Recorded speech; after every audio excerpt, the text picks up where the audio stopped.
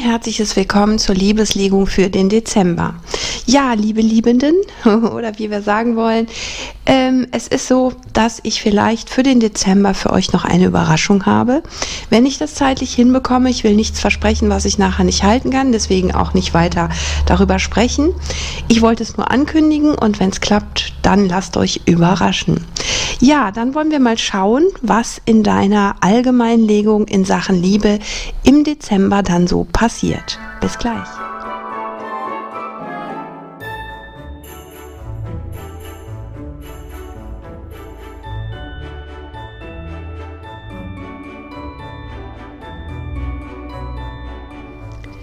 Herzliches Willkommen, lieber Stier, zu deiner Liebeslegung für den Dezember. Hier ist Ella und ich freue mich, dass du da bist. Wir wollen natürlich allgemein einfach mal gucken, wie so die Liebesenergien im Monat Dezember für dich aussehen und schauen mal nach deinem Thema. Wir haben die Zehn der Stäbe, Ballast abwerfen, also Dinge, mit denen du dich im Vorfeld belastet hast oder auch was die Beziehung belastet hat. Ja, das kann wegfallen. Wir haben die neuen der Münzen. Du machst dich ein bisschen unabhängig, auch von deinem Partner, deiner Partnerin. Das ist nicht schlimm. Jeder darf auch für sich seine eigene Person sein, durchaus. Es kann aber auch sein, dass du viel zu tun hast, und an deiner Karriere bastelst, wie auch immer, oder einfach auch mal ein Stündchen für dich brauchst. Wir haben auf der anderen Seite die Acht der Schwerter. Die Acht der Schwerter bedeutet, dass man ja sich so im Gedankenchaos gefangen hat. Dieser, dieser, ähm, ja, ich sag mal, Hamsterrad im Kopf, dass man nicht davon loskommt, dass man irgendwo da gefangen ist und keine Lösung findet. Wir schauen mal, wie er harmoniert. Wir haben König der Stäbe, das ist auch Feuerenergie, das bedeutet Leidenschaft, das bedeutet aber auch nicht aufgeben, liebevolle Energien, Optimismus, wir schaffen das. So, und vielleicht braucht dein Gegenüber deinen Ratschlag, deine Unterstützung, deine Hilfe. Darauf solltest du natürlich achten.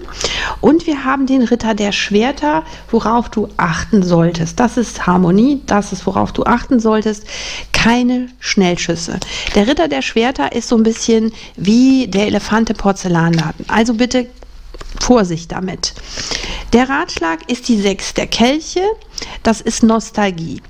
Vielleicht hilft das ja auch bei diesem Gedankengang, je nachdem, was dein Partner, deine Partnerin beschäftigt, mit der Nostalgie oder auch mit der schönen Nostalgie, was Weihnachten betrifft oder so, so ein bisschen abzulenken oder auf ja was Positives zu kommen. Wir haben als Ausgang die sieben der Kelche, ganz viele Möglichkeiten, ähm, ja in der Partnerschaft voranzukommen.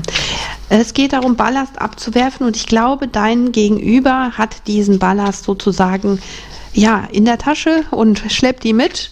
Wir schauen mal, was wir noch haben. Die Acht der Kelche neue Wege gehen. Es also ein bisschen verändern.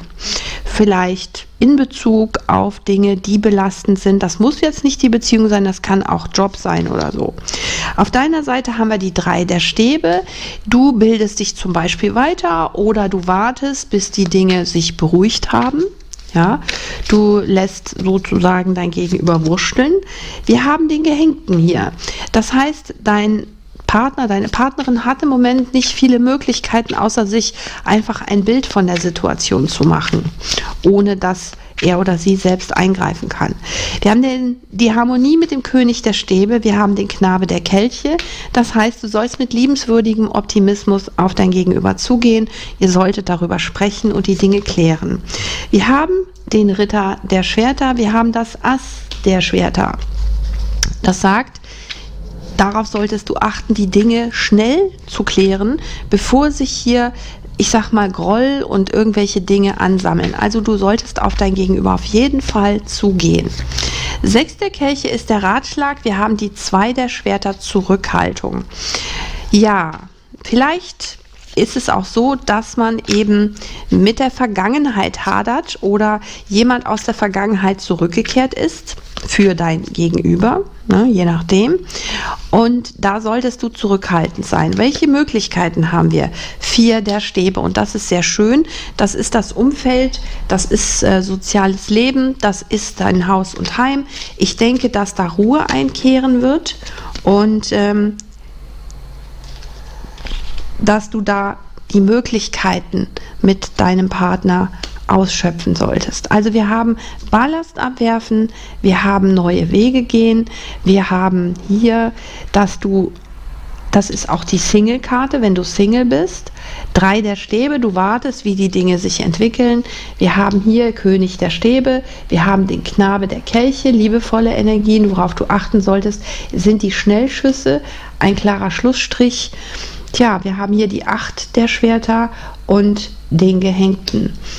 Das könnte auch eine Trennung sein, durchaus, ja wenn jemand, also wenn du mit jemandem, ähm, ich sag mal, überhaupt nicht zurechtkommst, das ist vielleicht auch dann keine langwierige Beziehung, aber wir haben hier die Vergangenheit und wir haben die Zurückhaltung mit der Vergangenheit. Also man sollte sicherlich die Vergangenheit annehmen, aber man muss sie ja nicht immer wieder als so super toll darstellen. Wir haben die sieben der Kelche und wir haben die vier der Stäbe. Also es geht auf jeden Fall darum, Frieden in deinem Haus, in deinem Heim herzustellen. Das kann einmal bedeuten, dass dein Gegenüber Probleme hat, mit etwas, was nicht unbedingt die Beziehung betrifft. Es kann sein, dass es eine Trennung ist, dann trennst du dich aber, du entscheidest das.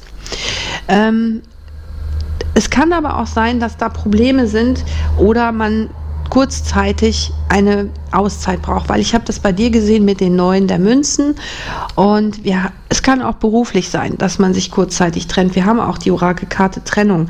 Eine vorübergehende Trennung von deinem Partner ist in Sicht.